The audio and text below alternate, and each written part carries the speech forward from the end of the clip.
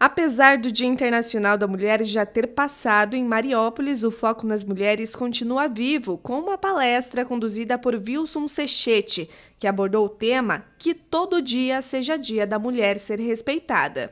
Vários avanços, muitas conquistas, sim, muitos direitos, mas ainda nós temos muita violência contra a mulher. É, seja lá qualquer tipo de violência, seja, seja ela física, psicológica, emocional.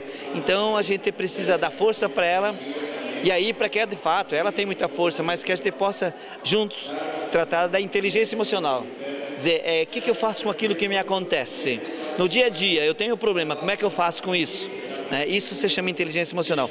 E deixa muito claro, elas, elas sabem disso, que em cada uma delas, que aqui é um público maravilhoso, né? É, elas têm uma reserva de coragem, elas têm uma reserva de bondade, elas têm uma reserva de amor, elas têm uma reserva de sabedoria.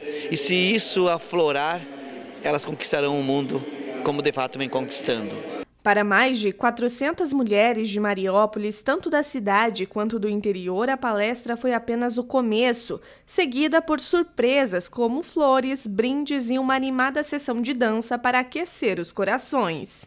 É muito importante para o município de Mariópolis a gente ter momentos assim, né, com mulheres do interior, mulheres da cidade, empresárias, empreendedoras, donas de casa participando de um evento até fora do, do ritmo, né? Um dia de semana, uma quinta-feira à tarde. Então é muito legal, muito importante essa união, né? E a gente fica muito feliz de fazer parte desse município e desse movimento. Olha, estou achando muito maravilhoso, né? Já tenho participado de outros encontros de mulheres esse mês, né?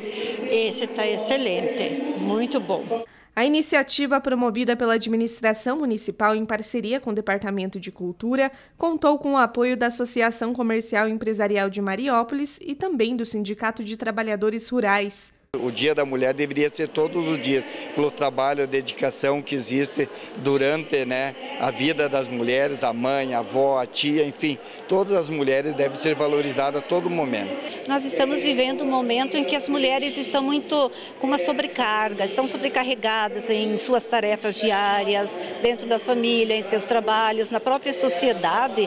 A mulher hoje é muito participativa, então nós, nós sentimos a necessidade de chamarmos as mulheres mariposas metropolitanas para elas terem um pouco mais assim de clareza, de entendimento sobre tudo isso que está acontecendo atualmente né, com as mulheres e trabalhar a sua inteligência emocional justamente para que elas sejam mais felizes né, dentro daquilo tudo que hoje elas carregam e organizam e trabalham né, dentro de uma sociedade.